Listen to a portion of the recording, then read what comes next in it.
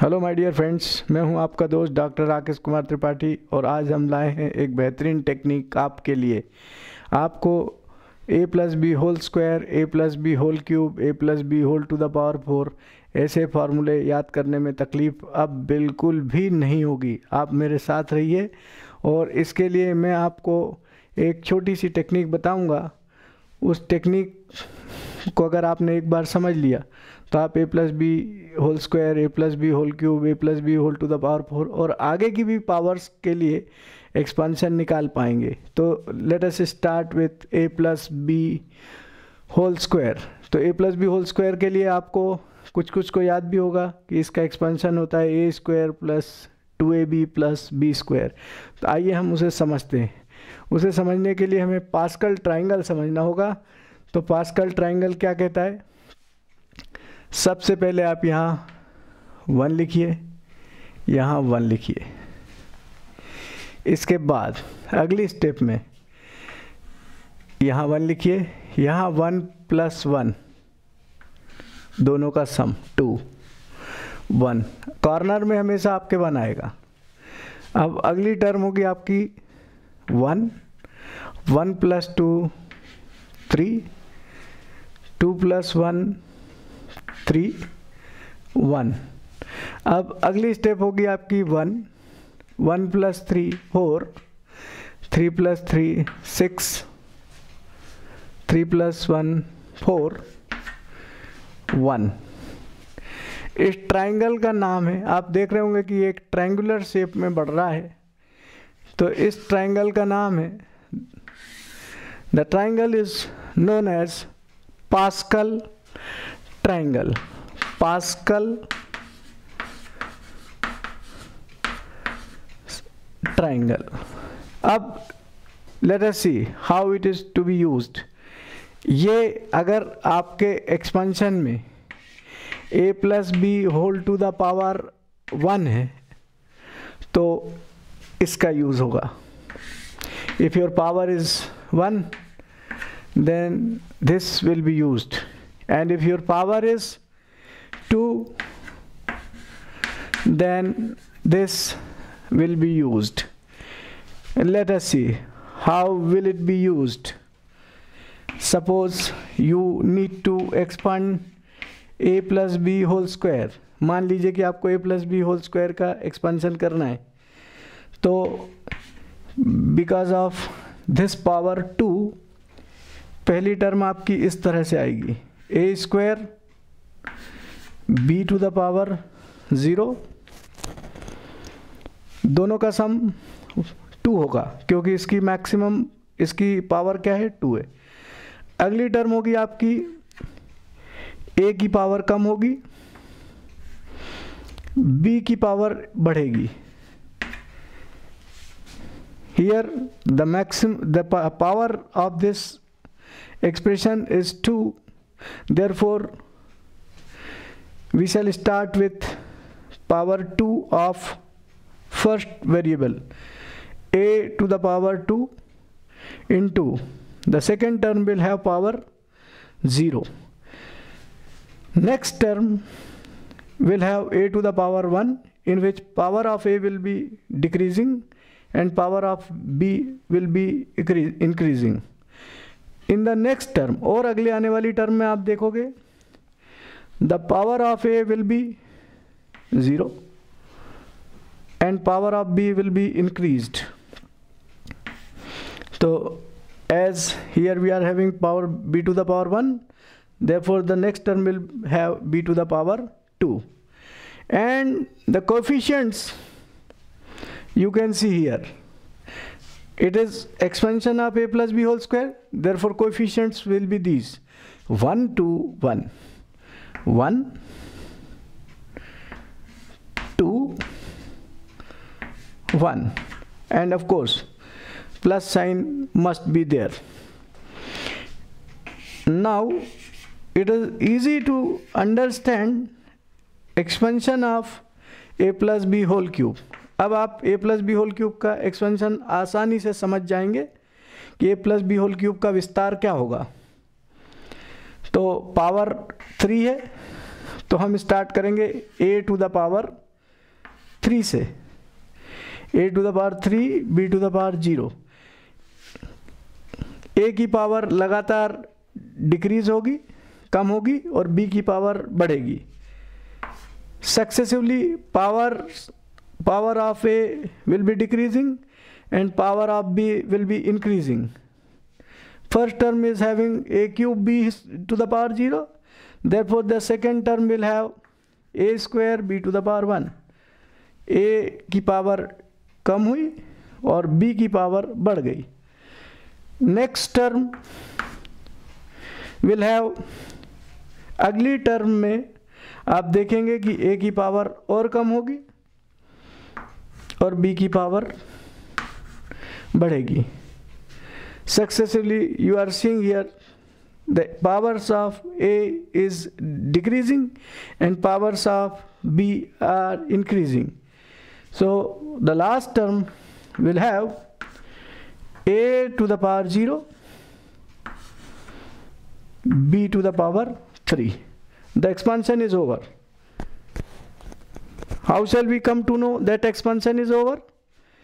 आपकी जो पावर होगी सपोज़ पावर इज़ थ्री तो आप a cube a a to the power three से स्टार्ट करें, और जब तक आप a to the power zero पे नहीं पहुँचेंगे, तब तक आपको एक्सपेंशन करना है और आपको देखने को मिलेगा कि अगर आप पावर्स दोनों वेरिएबल्स की इंडिपेंडेंटली जोड़ेंगे तो three plus zero three two plus one three one plus two three zero plus three three.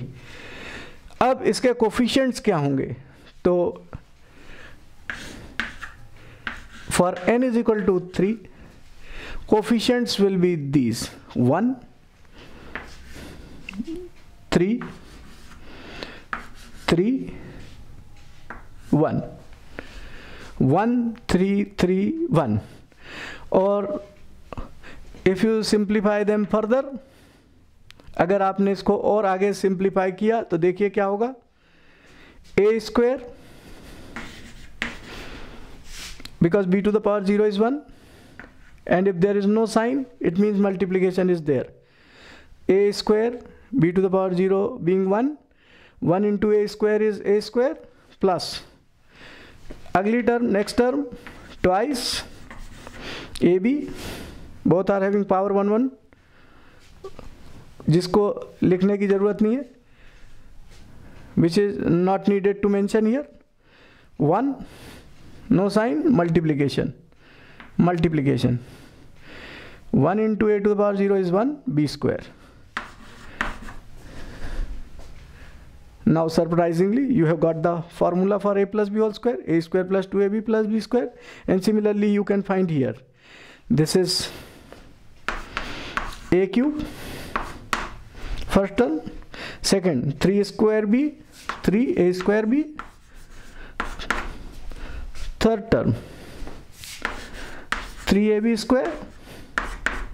And the last term bq and similarly you can find expansion of a plus b whole to the power 4 which is very easy to find. Because once you get into the practice of it easily you can find expansion of a plus b whole to the power 4 a plus b whole to the power 5 and so on let us see first is this directly i am trying to write and you should get into practice of it आप इसी तरीके से इसका अभ्यास करेंगे तो आपको चुटकियों में इसका आंसर आ जाएगा a plus B whole to the power four it is no more difficult now because you are having this triangle तो देखिए, पहला आएगा आपके पास वन, और पावर होगी ए की फोर, बी की power zero which is one no need to write second coefficient will be four power of a will be less by one a cube और बी की पावर इंक्रीज होगी। Next term will have coefficient six these are called coefficients a power a की power decrease होगी which will become a square power of b will be increased next, you can see 4 again, power of a will decrease. And power of b will increase. And the last term will have coefficient 1 power of a will decrease by 1 which will become a to the power 0 which is 1 if you know if you don't write no problem. B to the power 4 will be there similarly you can find a plus expansion of a plus b whole to the power 5 a plus b whole to the power 6 it is up to you and for this I did not write expansion of this because it does not require any kind of expansion but in case if you wish to expand in this way no problem first term will have coefficient 1 पहली term का coefficient यानी गुणांक 1 होगा a की power होगी 1 b की power होगी zero second term will have coefficient one a की पावर डिक्रीज होगी.